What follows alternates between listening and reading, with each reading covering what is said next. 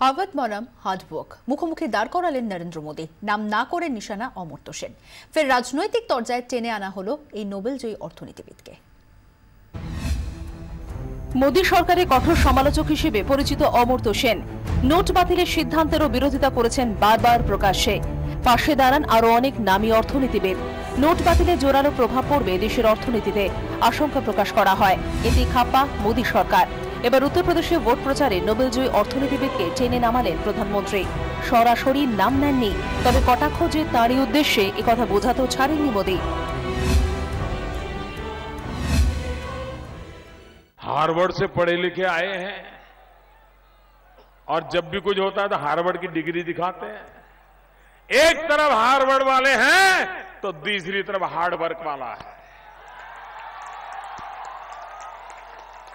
और देश ने देख लिया। हार्वर्ड वालों का अर्थशास्त्र किताबों में रह गया। हार्ड वर्क करने वाले का अर्थ कारण खेतों में, गाँवों में, मजदूर के हाथों में। वो पनपने लग गया, भाइयों, वो पनपने लग गया। ऐसे देश चलता है।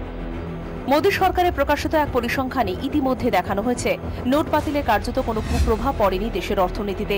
সে অস্ত্রে হার্ভার্ডে অর্থনীতিবিদকে ঘায়েল করতে ময়দানে নেমে পড়লেন নম। কেন্দ্রের পরিসংখ্যান অনুযায়ী, নোট বাতিলের কোনো আঁচই লাগেনি দেশের জাতীয় আয় বৃদ্ধির হারে। অক্টোবর থেকে ডিসেম্বরে দেশের জিডিপি বৃদ্ধির হার সাত শতাংশ, জুলাই থেকে সেপ্টেম্বরে সাত দশমিক চার শতাংশ বৃদ্ধির হারে তুলনায় তা কম হলেও পূর্বাভাস যা ছিল তার চেয়ে বেশি।